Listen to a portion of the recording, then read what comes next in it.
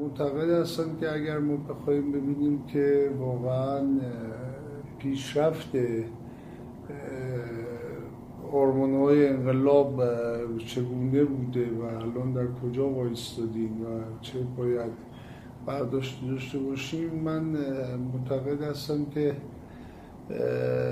باید برگردیم به علت برپایی انقلاب اسلامی در سال 57 و برای اینکه به این علت بیشتر واقع بشیم باید برگردیم به شعارهایی که مردم سر دادن برای پیروزی انقلاب.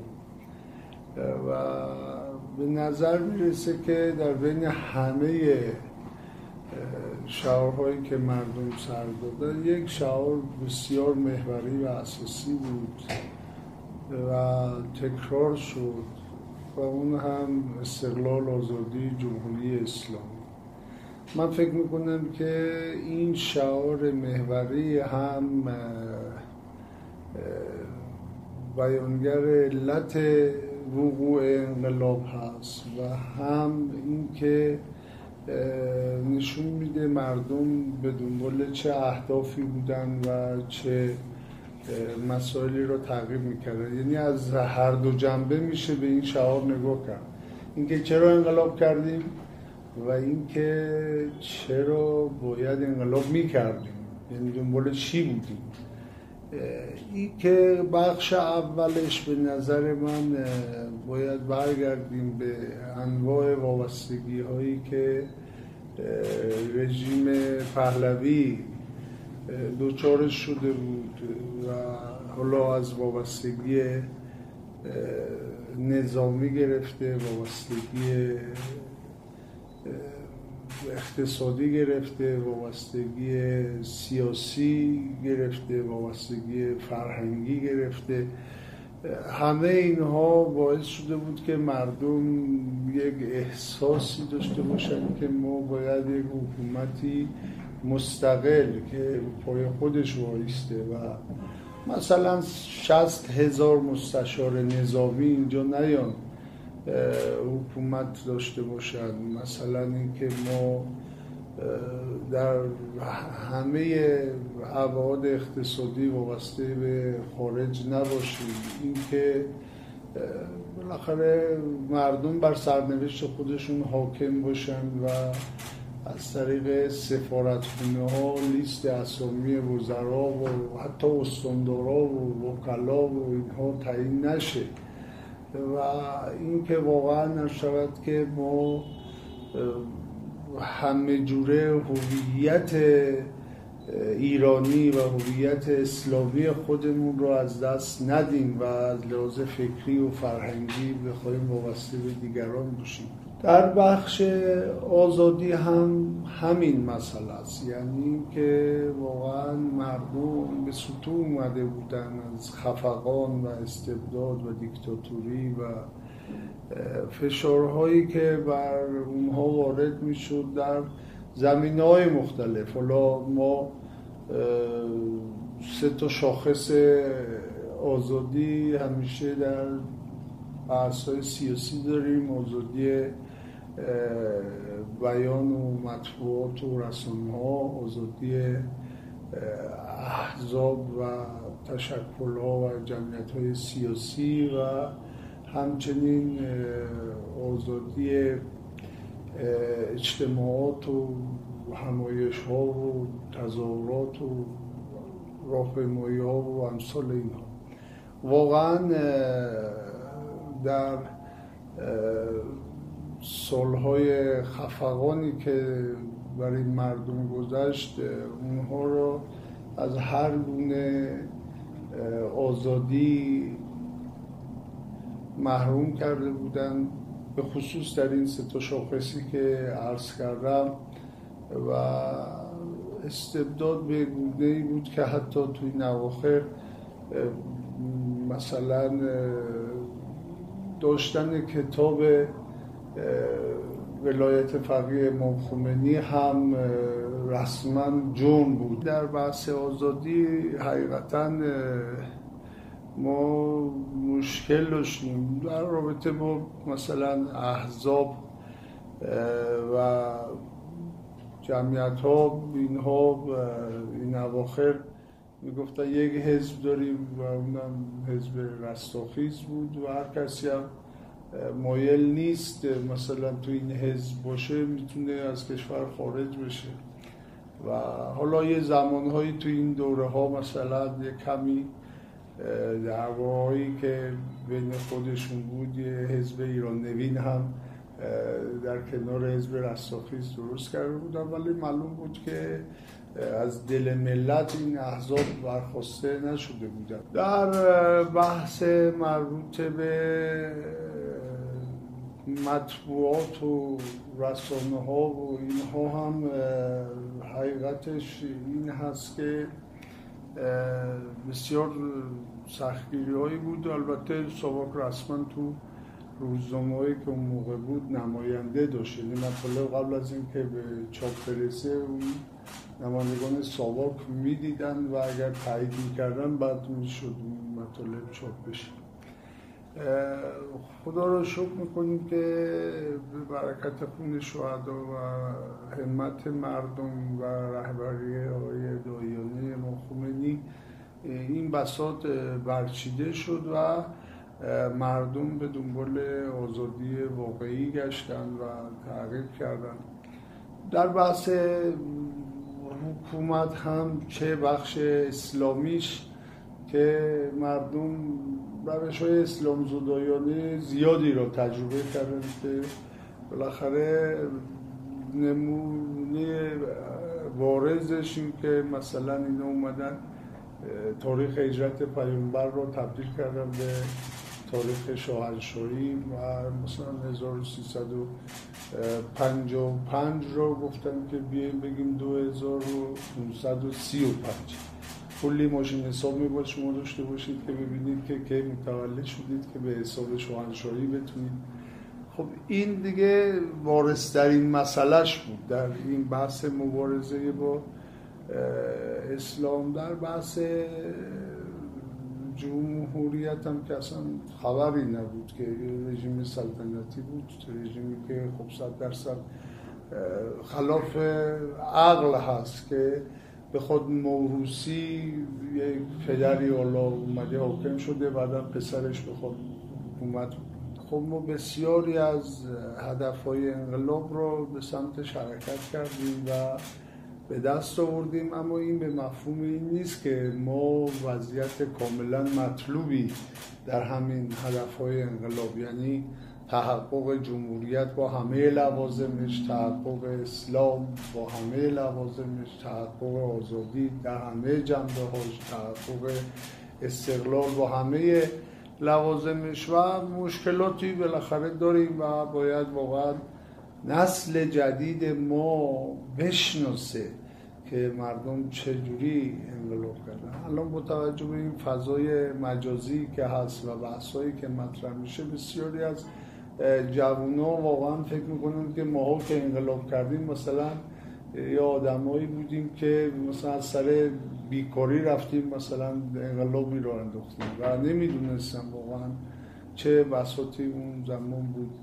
الان باید واقعا با توجه به مقتضیات زمان ما اون اهدافی که داشتیم به روز اون اهداف رو بخوایم تغییر کنیم. یعنی اون اهداف رو باید روز آمد بکنیم. این روزه دیگه بحث مثلا فیلترینگ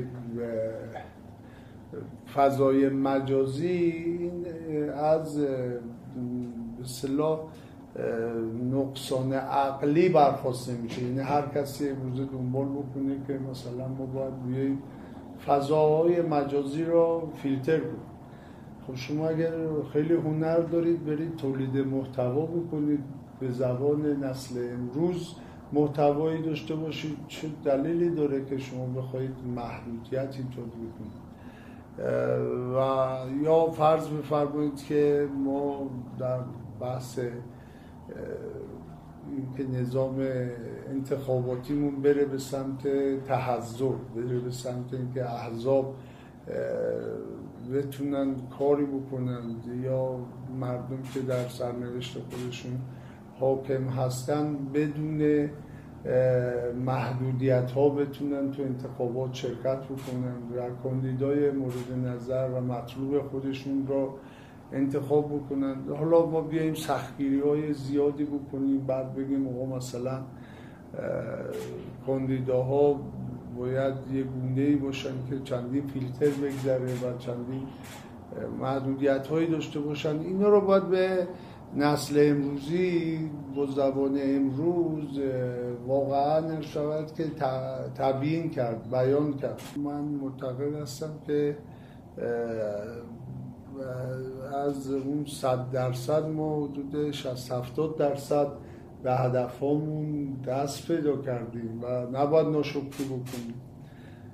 ولی سی چل درصدش هنوز باقیه. یعنی کسایی که بالاخره تاریخ شناسی داشته باشن و بدونن امروزه همش باید بیان بگن که چرا رژیم شاهی سقوط کرد. عوامل اون سقوطش بررسی بکنن.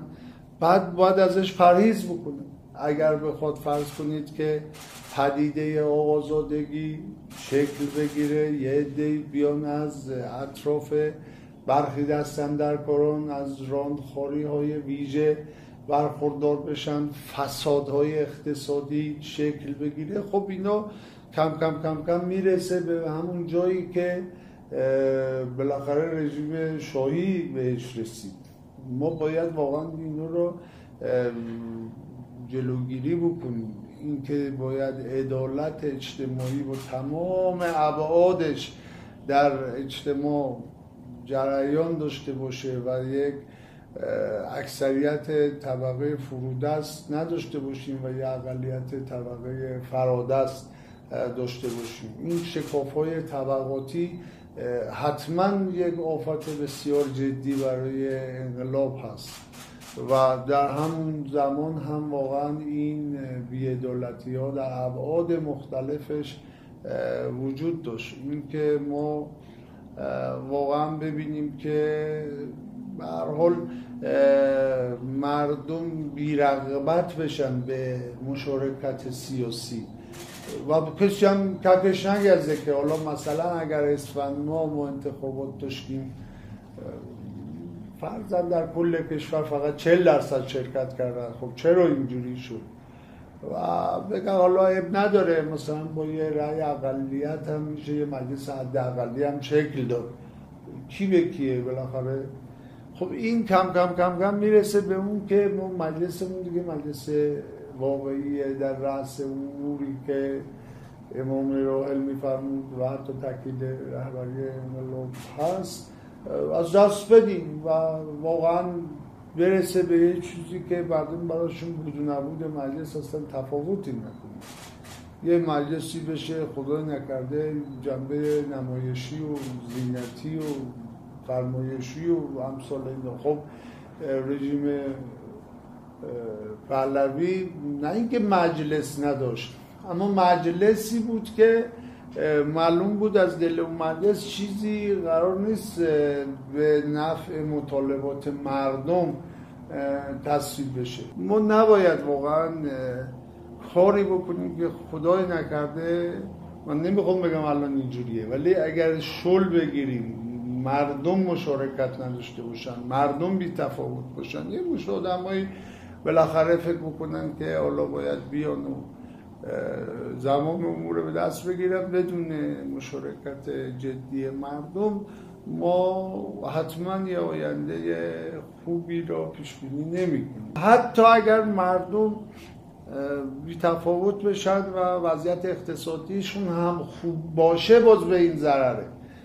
و بعد روزی که هم مردم بی تفاوت باشن هم وضعیت معیشتی و اقتصادیشون اونقدر فشار بر اونها وارد بکنه که به تنگ بیان و بالاخره نارضایتی جنبه عمومی و همهگیری رو داشته باشه که خب اون وقت نه از تاک نشان موند و نه از تاک نشان. من لذا معتقد هستم که این سی درصد به اصطلاح عدم دستیابی به آرمون های اولیه انقلاب و مکتب سیاسی موخومینی باید تلاش بکنیم که به دست بیاد و اینجا هم چند تا بحثه. یکی بحث این است که این آرمون ها کمرنگ بشه یعنی بی تفاوت بشه نسبت به این آرمون ها یکی که انحراف ایجاد بشه در این دستیابی به این آرمون ها. و هر دوتا خطره. یه عده فرزن بیان اینجا و بگن که آقا مردم مسلحت خودشون خودشون هم نمی‌تونن بفهمن. یه مشت ما از بهتران هستیم که بهتر مسلحت مردم رو تشخیص خب ما بارها از امام خمینی این جمله رو شنیدیم که آخه شما چه کاره هستید که بخواید مردم هم بهتر بفهمید. به شما چه مربوطه؟ اصلا مردم اشتباه می‌کنه یه انتخابی کردن اشتباه کردن. خب چوبش هم می‌خورن اگر واقعا اشتباه کردن. به ما چه مربوطه که غیم اونها خودمون رو تلقی بکنیم بگیم شما مثلا نمی‌تونید متوجه بشید مسلحت خودتون ما براتون بهترین مسلحت سنجی رو می‌کنیم و ما چون دوستدار شما هستیم چون شود که طرفدار شما هستیم پس شما بیایید همون چیزی که ما میگیم عمل بکنیم. لذا این بحثی که من دارم میگم الله واقعیتش یک امر پذیرفته شده است در تجارب بشری در سطح دنیا که هیچ وقت نباید هیچ حکومتی برای بقای خودش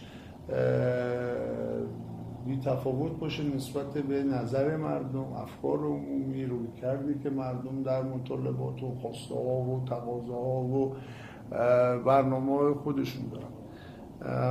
من البته معتقد هستم که ما تضعیف کردیم به هر دلیلی اون اعتماد عمومی را نسبت به کل سیستم و تضعیف کردیم به هر دلیلی وابستگی مردم رو به اون آرمان هایی که دنبالش بودن و لذای احساس بیتفاوتی دارن نسبت به اونها و در این حال مکتب سیاسی امام که بالاخره از جنبه های مختلف بحث مثلا چگونگی تلاوم همبستگی دین و سیاست گرفته. تا همین بحث ولایت فقیه. تا همین بحث استقلال. تا همین بحث عدالت در اجتماع. تا همین بحث سکوارستیزی تا همین بحث جمهوریت تا همین بحث طرفداری از محرومان و مستضعفان جامعه تا که تعبیری که مخومنی داشت جنگ فقر و غنا که بسیار روش تاکید داشت و تکیه به اخشار جامعه از مثلا نقش سیاسی زنان گرفته تا نقش پرشور جوانان گرفته در اجتماع و دانشجویان و طلاب و نمی‌دونم. ای که نباید نظامی ها تو سیاست دخالت بکنن. و بارها امام خمینی این مسئله رو تاکید می‌کردن و بند لام وصیت‌نامه امام خمینی سراحتا میگه که بالاخره نیروهای نظامی و مسلح حق دخالت در احزاب در مسائل سیاسی ندارن. خب بعضی بیان تفسیرهای جدید داشته باشن. این یعنی همون انحرافی که از مکتب سیاسی مخومنی بود داریم من خودم بارها گفتم چه اشکالی داره یه نظامی هم بیاد کاندیدا بشه به شرط اینکه دیگه تو اون منصب نظامی نباشه. به شرط اینکه بیاد دقیقا حتی حزب سیاسی تشکیل بده بیاد وارد فعالیت های سیاسی بشه. نظامی هم حق داره مثل سایر آهاد مردم.